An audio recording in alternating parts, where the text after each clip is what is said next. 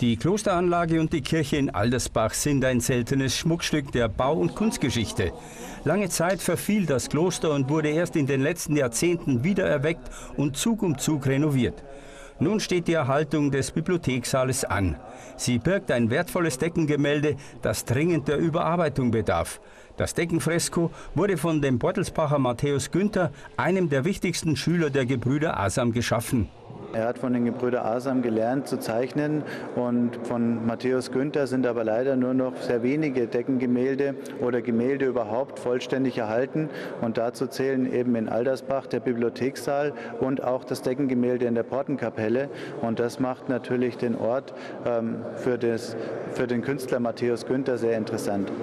Die Erhaltung des Deckenfreskos steht außer Frage, doch die Renovierung kostet viel Geld. Dazu gibt es Zuschüsse, aber nicht für alles. So hat sich der Rotary Club Passa entschlossen, den Aldersbacher Förderverein zu unterstützen.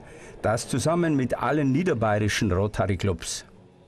Zum einen wollte ich mehrere Clubs aus Niederbayern vereinen, um einen größeren kulturellen Event äh, zu machen. Und zum anderen wollte ich im Auftrag von Rotary als Sozialclub mir ein Projekt suchen, das wir unterstützen können.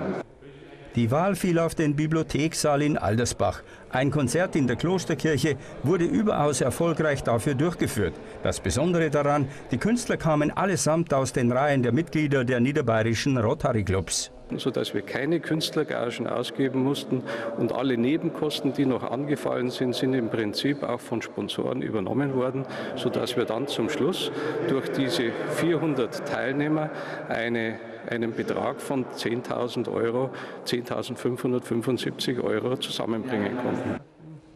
Dieser stolze Erlös wurde nun an den Aldersbacher Förderverein übergeben. Sein Ziel ist es, das wertvolle Deckengemälde, das Allegorien der Wissenschaft, die den Thron der Dreifaltigkeit umgeben, darstellt, bis zur Eröffnung der Landesausstellung fertigzustellen.